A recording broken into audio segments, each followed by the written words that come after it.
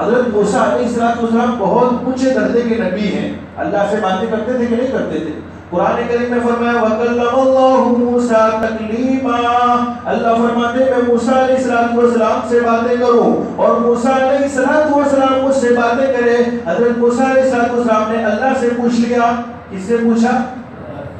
پوچھنے والے کون ہیں؟ نبی حضرت موسیٰ ہے جو اللہ سے باتیں کر رہے ہیں۔ کس سے پوچھ رہے ہیں؟ اللہ سے پوچھ رہے ہیں کہ الہ العالمین۔ تیرے نزدیک سب سے زیادہ عزت والا بندہ کون سا ہے؟ جس کی تیرے یہاں عزت ہو، جس کی تیرے یہاں، جس کا تیرے یہاں احترام ہو، آپ اندازہ لگاؤ میرے پیارے دوستو، جس کا رب العالمین کے درمیان میں مقام ہوگا، جس کی رب العالمین کے درمیان میں عزت ہوگی، اس کی بندوں کے درمیان میں ہوگی کہ نہیں ہوگی؟ ارے وہ ہوگی کہ نہیں ہوگی؟ تو کیا فرمایا حضرت موسیٰ علیہ السلام نے الہ العالمین تیرے نزدیک سب سے زیادہ عزت والا بندہ کون سا ہے؟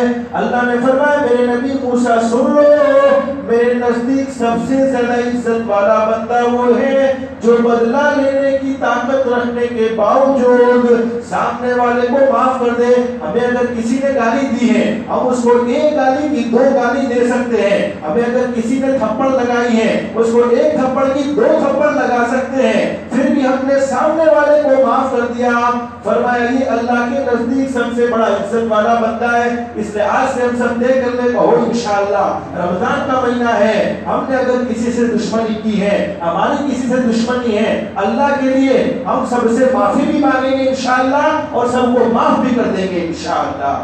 اللہ ہم سب کو